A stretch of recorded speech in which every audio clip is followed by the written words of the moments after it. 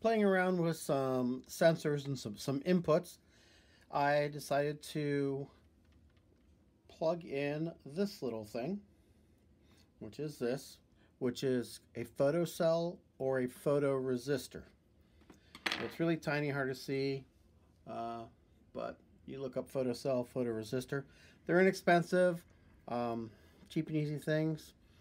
They're also not always greatly accurate, but they do a nice thing. I've got the number that it's uh, sending to the microbit being displayed here on my LCD so we can see what happens.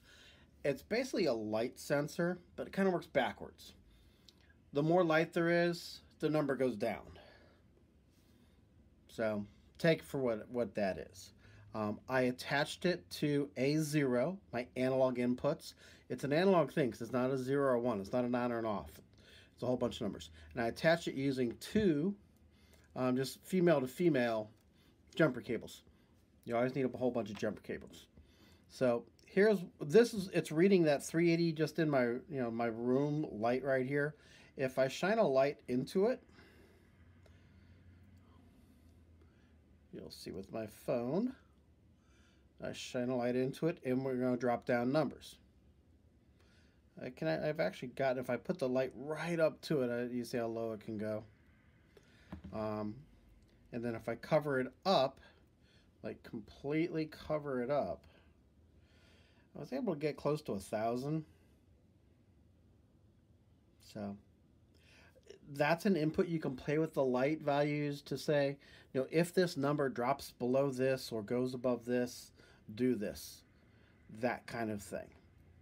Um, I don't know why it's not getting up to. I had, I had seen like 950 before when I had covered it up, but uh, uh, sometimes they wire these things directly in because they are resistors, so they're you know lowering current flowing to something, and that changes. They're they're a variable resistor, and that current the resistance changes with light and with darkness. So that's um, one reason they wire things in like that. We can just use it as a number input for light. Uh, but you need to kind of figure out what range of numbers you're getting for it. So you know, and then play around where to put your cutoff points. Now the code for it, again, just real simple. I created a variable called light and I grabbed the analog pin, analog read pin 0, and I set light to that value from that pin. And then in my statements, I've got the, you know, I put the set light again in there. I have to have it here. I don't necessarily have to have it on, on start, but I like initializing things. Um, I have to have it here so that when it comes back to the top of the loop, it's going to set it to a new number. And then I have it displaying in two places. I have it displaying on the uh, microbit and have it displaying on an LCD. Just because I do. Um, and it's, it's just going to keep looping and it's going to just keep reading. Uh, some people like to put in like a pause at the bottom there. Uh, give it a slight uh, pause in the reading. Whatever is the logic that you need for your program. So it's simple things to hook up.